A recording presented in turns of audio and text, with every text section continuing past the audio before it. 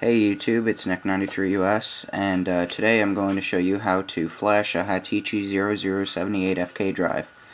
And uh, to tell what the drive is, you can either uh, make sure that it's a Hitachi by these little holes on the disk tray so you can just eject the drive. And that's one way to tell it's a Hitachi, but to verify that it's a 0078FK, and uh, for the 79s there's an extra step, you just have to use the 79 unlock and you can look up that on YouTube, but this is only for the 0078FK. You can see it from ROM version, and there's the Hitachi. Okay, so what you're going to have to do is burn a Slax disk, Slax 21. So I'll have that in the downloads. I already have mine burned right here.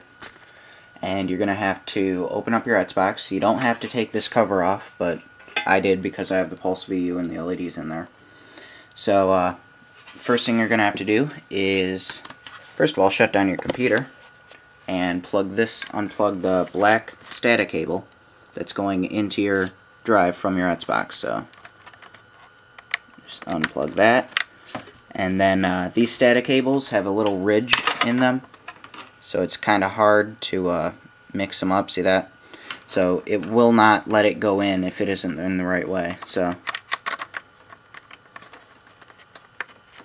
just plug the one that's plugged into the computer and uh, your Xbox is going to be hooked up with a ground wire. I just use a hanger and I'll get that right after I shut down my computer. So uh, let me do that really quick and remember all you have to do is plug this SATA cable into the end of your drive and plug it into port 1 on your computer on your uh, uh, desktop. So you have to have SATA ports open and it's usually the first one in that link, the four blocks. I have four blocks. I don't know what you have. But, uh, hold on. Let me shut down my computer and then I'll continue. Okay, so the computer's off. My ground wire's hooked up from the chassis of the Xbox 360 to the chassis of the PC. And we do this because the voltage going through the PC is higher than the Xbox, and Xbox has a floating point ground, this has a true earth, and it could break your drive. So always hook up a ground wire. I mean, it's rare, but you know, why not? It's good. Anyway, uh, once you have your Slax just burned and ready, just get it out for this step. And you turn on your PC and immediately eject your your uh, uh, DVD drive on your PC. So we eject it, put it back in, and it will boot off of Slax. And at this time, you want to turn on your Xbox 360.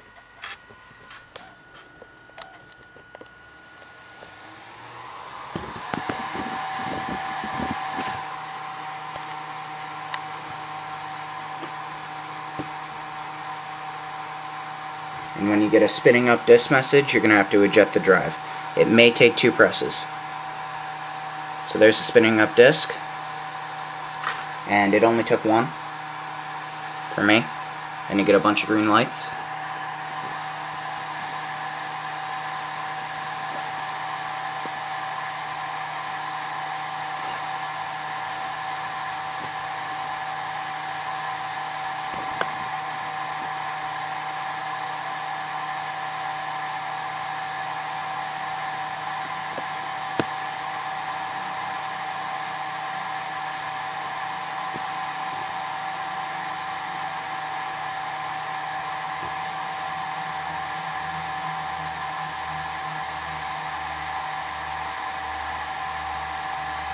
Okay, and then you'll come into the Slax login page. Now at this, you want to leave your drive tray open and uh, just shut down your PC. So just press the power off button, it'll run the logout scripts. And you're going to have to take out the disk when it comes out of your uh, drive, because it's going to automatically eject it. So here it goes. Take it out. It automatically pulls it back in. And then you boot into Windows. So I'm going to boot in there really quick. And leave your Xbox on for this. Don't turn it off yet. So we're going to boot in. Slax disk is not in anymore. Xbox is still on. And uh, when it goes to the Windows loading bar, you want to keep ejecting in the drive because sometimes it'll get frozen. So, once you, mine is on, uh, see, resuming Windows.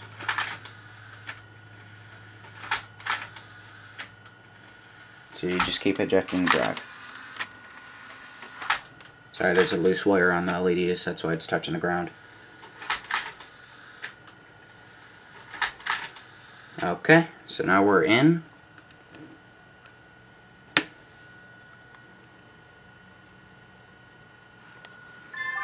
I got a little face scanner, I'm just going to log in with this though.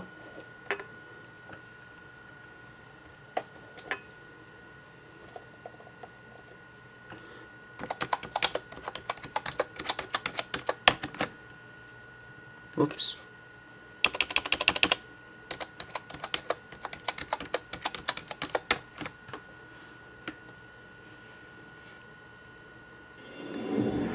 Okay, so we get logged in here.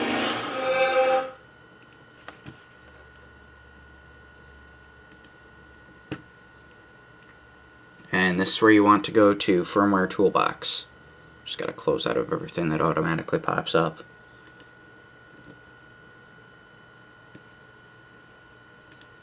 Okay, I'm going to go into my Xbox 360 modding controller.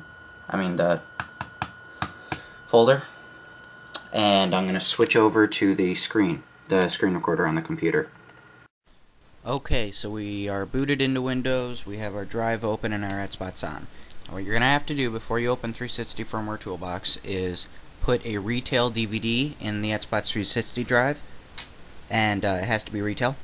I'm using Hitch, and then to close the drive correctly, you have to either press it, press the eject button once and then manually close it, or you can press the eject button twice and a third time before it closes. So I'm going to do that,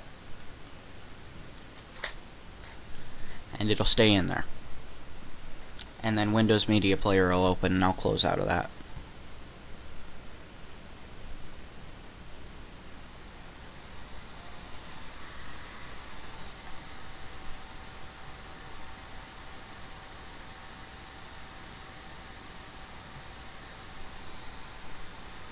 So we exit out of Windows Media Player.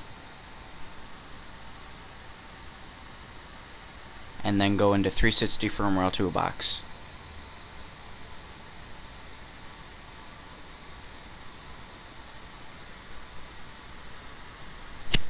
Okay, and then we go to Tools, Direct Drive Dump, GDR only. And then make sure it's selected and it says ROM 0078, so that's right. And then raw dump firmware as. Okay, then I'm going to go into a folder that where you want to keep it and make sure you do not lose these files. So I'm going to go to, I've already done this, so I'm going to go to my desktop. And save it as ORIG and click save. It'll read it. And then it says, do you want to perform a checksum validation? Yes. Okay, and it says, do you want to open it now? Yes.